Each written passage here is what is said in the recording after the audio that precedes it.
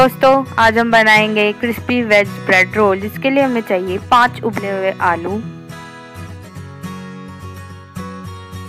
250 ग्राम उबली हुई मटर 10 से 12 बीन्स बारीक कटी हुई, एक शिमला मिर्च बारीक कटी हुई, एक बड़ी प्याज बारीक कटी हुई, एक गाजर बारीक कटी हुई, पाँच से छः हरी मिर्च बारीक कटी हुई 250 ग्राम पनीर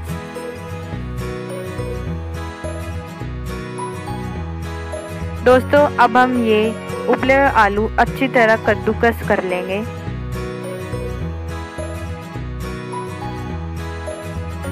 अब हम उबले हुए मटर को अच्छी तरह मैश कर लेंगे। तो जैसे मैं मैश कर रही हूँ, वैसे ही करते रहिएगा। अच्छी तरह मैश करना जैसे मैं हाथों से कर रही हूँ। देखो, मेरे मटर मैश हो गए हैं। अब हम इसमें बीन्स डाल देंगे और शिमला मिर्च डाल देंगे। प्याज डालेंगे। गाजर डालेंगे। ग्रीन चिली डालेंगे।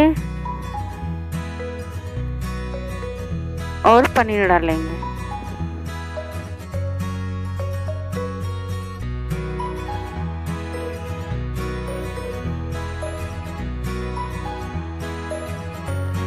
अब हम इसमें मसाला डालेंगे। आधा चम्मच गरम मसाला, आधा चम्मच जीरा पाउडर। स्वाद अनुसार नमक डालेंगे।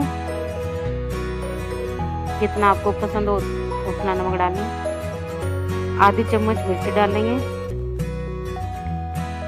और एक चम्मच चाट मसाला डालेंगे। और इसको मिक्स कर लेंगे, अच्छे से।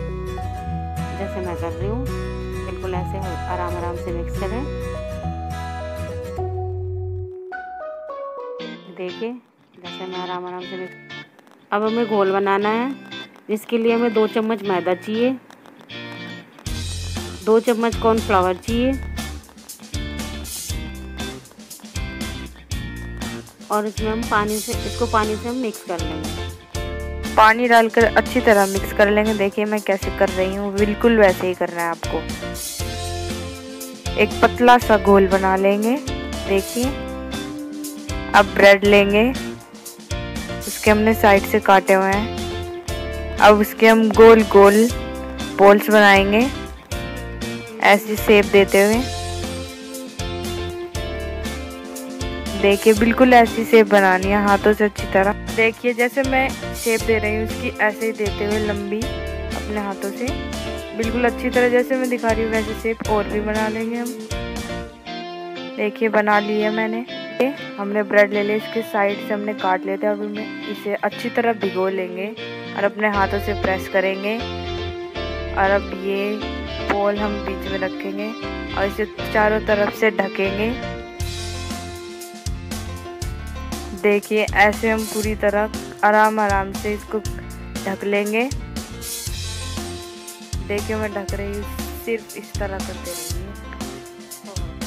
रहिए। इसको हमने अच्छे से कवर कर लिया है, बिल्कुल ऐसे जैसे मैंने किया है, ऐसे कवर करके इसको अच्छे से अब हम डिप कर लेंगे घोल में। ऐसे, बिल्कुल ऐसे डिप करके अब हम इसको ब्रेड क्रम से लगा लेंगे ब्रेड क्रम को अच्छे से। बिल्कुल ऐसे जैसे मैंने लगाया है और ऐसे और भी तैयार कर लेंगे।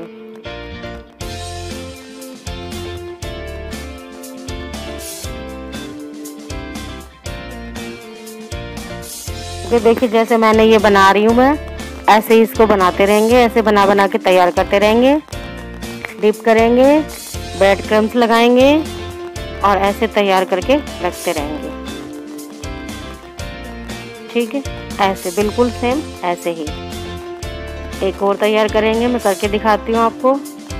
गीला करके ब्रेड पानी में इसको थोड़ा प्रेस करेंगे अच्छे से और प्रेस करके खूब अच्छे से प्रेस करेंगे। पानी निकाल देंगे इसका सारा और फिर हम इसमें हम फिर इसका हमने पानी निकाल दिया अच्छे से। अब इसमें हम बोल रखेंगे। बोल को हम अच्छे से बिल्कुल कवर करके खूब अच्छे से हाँ ऐसे जैसे मैं कर रही हूँ, बिल्कुल कवर अब इसको कवर करके अब हम डिप करेंगे। ये देखिए, ये तैयार हो चुका है हमारा अच्छा। देखिए, ये सेब तैयार हो चुकी है ऐसे बिल्कुल, जैसे मैंने बनाया है, ऐसे आप भी बनाएँगे अब इसको हम डिप करेंगे ब्रेड क्रम्स लगाएँगे, बिल्कुल अच्छे से। ताकि अच्छे अच्छे क्रंची क्रंची से बने। ब्रेड रोल, ब्रेड क्रंच अच्छे, ब्रेड लगाना है अच्छे से।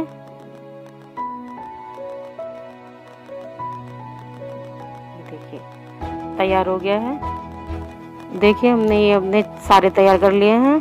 अब हम, हमने कढ़ाई में तेल चढ़ा रखा है, जो हमारा गर्म हो चुका है। अब हम इसमें हम फ्राई कर लेंगे। ऐसे आराम आराम से सारे डालिए कढ़ाई में। तीन तीन करके हम इनको फ्राई करेंगे। आराम आराम से।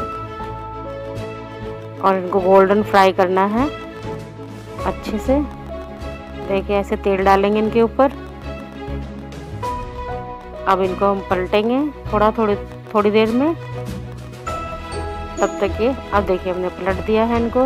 ये देखिए, ऐसे कलर आ गया है भूरा भूरा सा।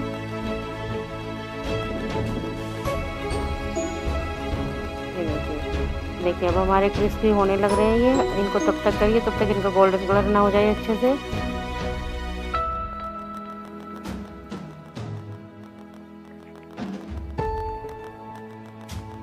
ये देखिए, अब हमारे अच्छे से गोल्डन कलर के होने लग रहे हैं। इनको गोल्डन ब्राउन करना है अच्छे से।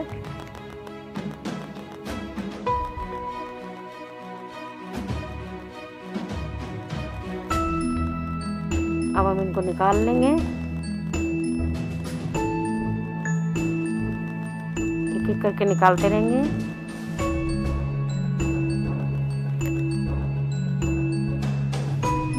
ये देखिए, इनको इस तरह करना है, ऐसे कलर के गोल्डन ब्राउन और ऐसे ही हम और भी इसी कलर के कर देंगे गोल्डन ब्राउन